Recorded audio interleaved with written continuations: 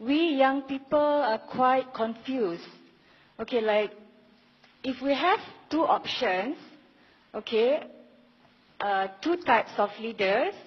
Okay, one which is if we have a leader who is zalim, uh, give us difficult life, like increased tax, increased cost of living, and also uh, practice bribery versus a leader who we know that they ally with the enemy of Islam.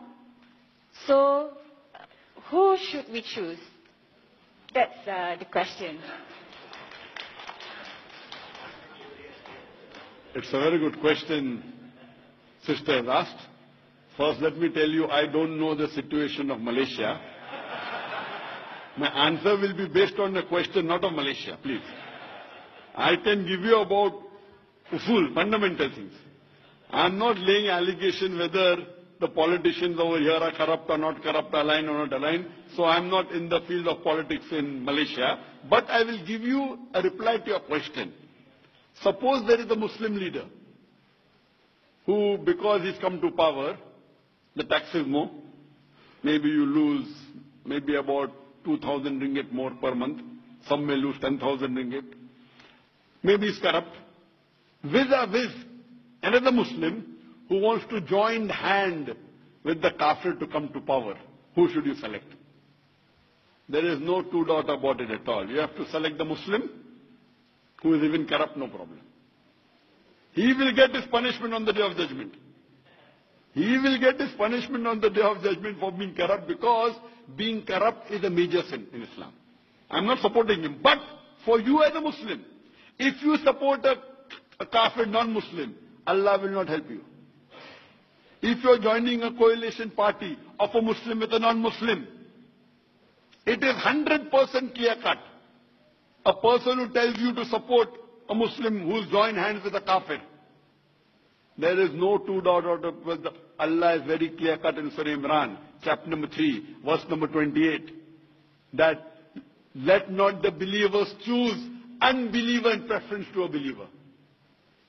Allah's help will not be with you. If you have two Muslims, one is more close to Quran Sunnah, the other is far away, choose a Muslim which is close to Quran Sunnah. But if a Muslim takes for a non-Muslim as his partner to come in power, he is going against Allah. It's a much bigger crime. Maybe when he comes to power, you may earn 10,000 ringgits more per month. Maybe the country will have better roads.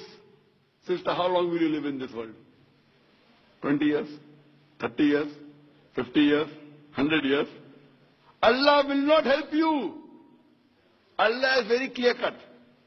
I am aware, I am not supporting any, any party here. I am giving you the usul. Otherwise tomorrow you will come and tell me, I told you to vote for party A or party B. But if that Muslim who is, not, who is coming as a Muslim, he is a better Muslim but not a practicing Muslim. If he takes bribe, he will be punished on the day of judgment. But you as a Muslim, you are supporting because you want Allah's support. So this, now what are you doing? You are following the verse of the Quran of chapter 4, 135. Ya ayyuhalladhina amanu, O you believe, stand out for justice to Allah, even if it be against yourself. So you sister, if I vote person A, it's going against me. Yet I will vote him. Why? He is for Allah. The second person comes, I will benefit. But he is going against Allah. In Islam, when there is a competition between two things, both are wrong, but the smaller, you choose the smaller wrong. So the smaller wrong is a person who is agreeing with the Quran. You cannot, it is very clear cut. So the, the problem with us Muslims is that we are such very good Muslims. But they deviate in the ending. In no way can you take the help of a non-Muslim as far as power is concerned. No. You can help them, no problem. I'm not telling the Muslim don't help the non-Muslim. Please don't get me wrong. Don't get me wrong at all. Help the non-Muslim, give them charity, good. I help the non-Muslims. In no way, but don't let them sit on your head. That's it. Hope that answers the question. Tiap-tiap pagi dia bangun 10 minit, dia duduk di atas kaki.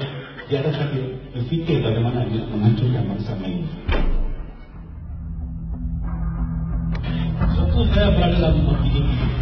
Di mana ini exam, member ini. Rancangan ini putus. Mula di atas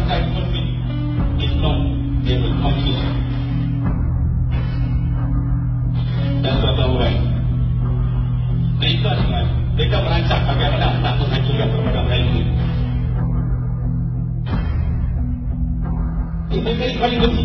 Paling benci agensi-agensi yang mempertahankan bumi putra. Mara, Belga, Belga, Rizda. Saya nara. Koliko pernah berkata, kalau kami minta kami akan kurangkan kaki tangan kerajaan. Sebab itu saya nanti pada untuk beberapa universitas.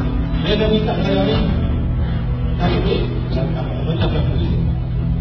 Saya kata kamu lah, kita isu ada masalah. Jawapannya senang kan? Kesana, our party is more important than your religion. Parti kita lebih penting daripada agama kamu. Parti kita lebih penting daripada agama kamu. Parti kita lebih penting daripada agama kamu.